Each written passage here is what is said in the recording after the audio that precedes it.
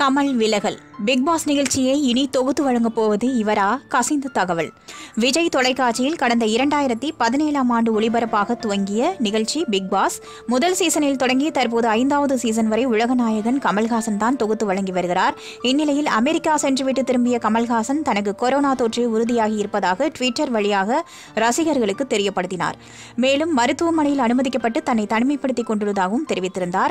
கொரோனாவால் பாதிக்கப்பட்டிருக்கும் கமல் எவ்வாறு big pass நிகழ்ச்சியை தொகுத்து வழங்குவார் என கேள்விகள் எழுந்த வண்ணம் இருந்தது.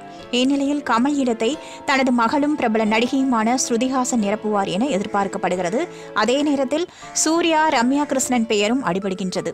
அதன்படி பிக்பாஸ் ஃபைவ் நிகழ்ச்சியை கமல்ஹாசனுக்கு பதிலாக யார் தொகுத்து வழங்குவார்கள் என்பதை பொறுத்திருந்து பார்ப்போம். எனினும் இது குறித்த அதிகாரப்பூர்வ தகவல்கள் வெளியாகவில்லை என்பது குறிப்பிடத்தக்கது.